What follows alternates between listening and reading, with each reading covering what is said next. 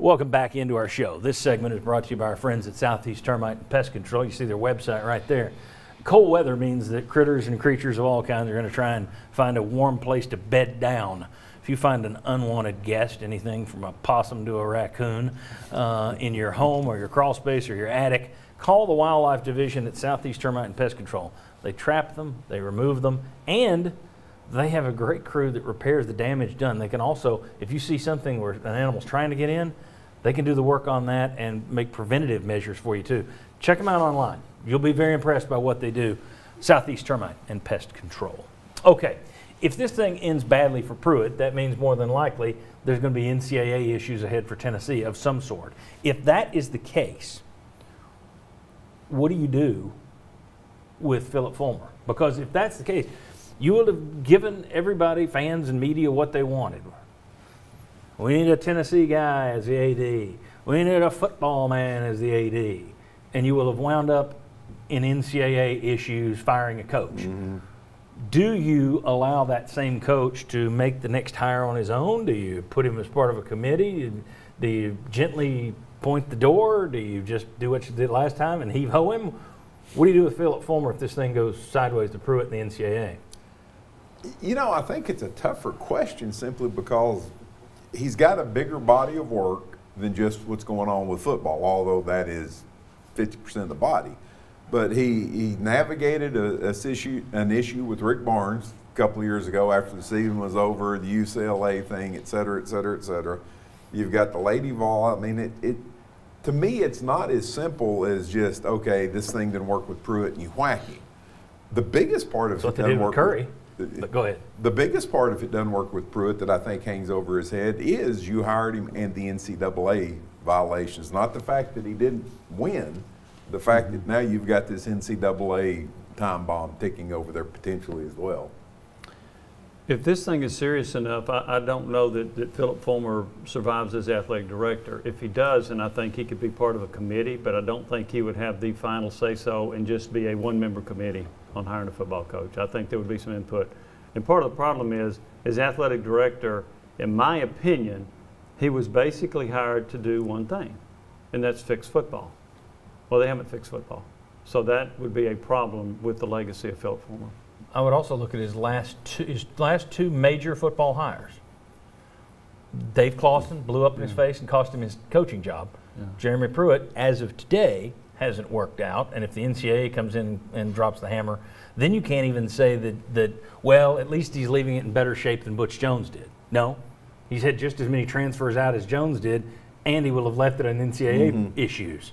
So I, I, it would be tough for me to say, you know what, you've had your last two strikes are ugly, but I'm giving you a third strike in terms of making the hire by himself. Vince, what do you do with Phillip Fulmer? Well, my guess is they wouldn't look that far into the past to judge Phillip Fulmer. I think they would judge him on the here and now. And Bob's right. There have been a lot of the other sports that have improved under his watch, seem to be more continuity within the athletic department, although you wonder now the way this whole thing is playing out. But I don't think those things outside of football carry the weight that football does. I've said this many times. Phillip Fulmer, his legacy as AD is going to be judged based on what happens with football. If football success and Pruitt's a success, then he will be a success as AD. I don't think I'm with Jimmy. I don't think that he would be uh, be given the reins to run a coaching search on his own because that was the, his first task, and it did not work out if they do part ways, especially with NCAA issues. And then another th- factor is is what about potential candidates if Phillip Fulmer is the one hiring a, a potential coach? Is the, the you're going to have a, a, a, shorter list of candidates that are going to wonder, okay, what am I? What's my future if Phillip Fulmer rides out into the sunset yep. or isn't running this coaching search on his own?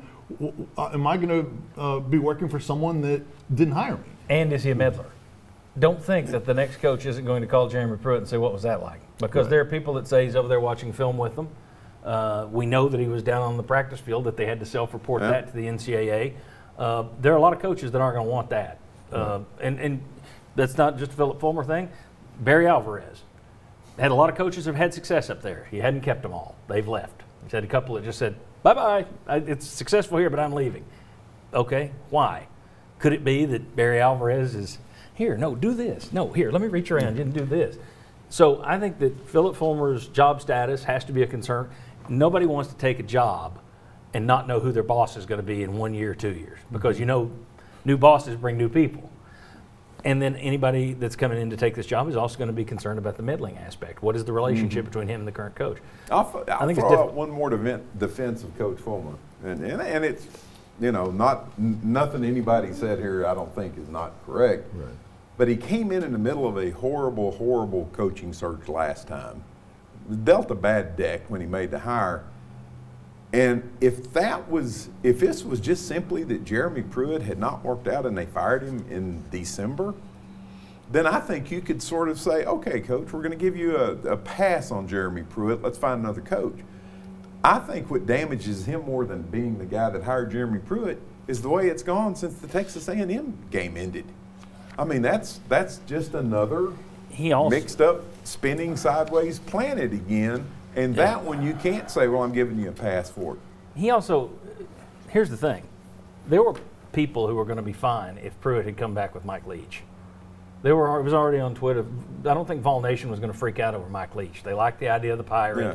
i don't know that it would have worked. Wouldn't have been my hire. I think he's so much of a wild card off the field it wouldn't have worked. But somebody was in the president's ear Yeah. at that time saying mike leach has got problems. You want to let him and you know he doesn't work like heck.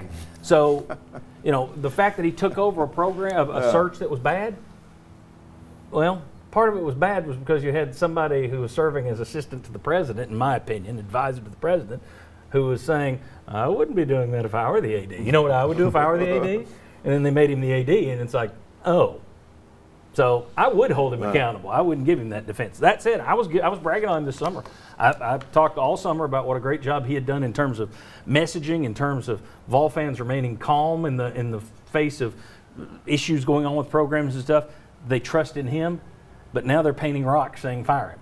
So I, I don't know. I'm, it's not like I'm campaigning against this guy. I was bragging on him two months ago, but with this, if you wind up in NCAA issues, I don't see how you allow him to make the next hire. All right, when we come back, let's talk about UT. They're being very silent and they're allowing the narrative to take off. And by the way, we got basketball coming up. That's next. But before we get to basketball, we're going to talk about should Tennessee be saying something, anything? Come on back.